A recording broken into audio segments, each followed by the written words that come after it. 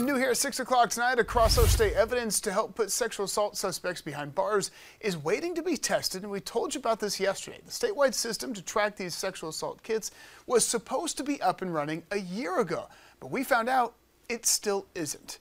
Well, in 2020, the governor signed a bill telling SLED to create and operate a statewide sexual assault kit tracking system. The bill required all medical facilities and law enforcement agencies to be using the system by June of 2022.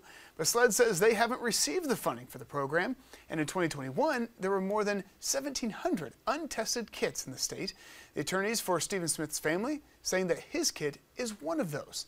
Smith's body was found on the road in Hampton County in 2015. The teen's death was initially treated as a traffic incident, but SLED reopened an investigation after something they uncovered while investigating the Murdaugh murders, and his case is now considered a homicide.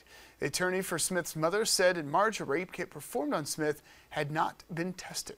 And we sent a Freedom of Information Act request to the South Carolina Department of Public Safety for their evidence logs, which show the rape kit was moved from Hampton County to the Medical University of South Carolina.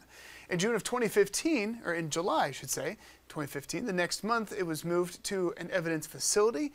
There's no further movement indicated after that. Now, this is video from the scene of Smith's death. A report we got from the Hampton County Sheriff's Office within the last hour labeled Smith's death as a traffic fatality. It also says Smith had a severe head wound that looked like a possible gunshot.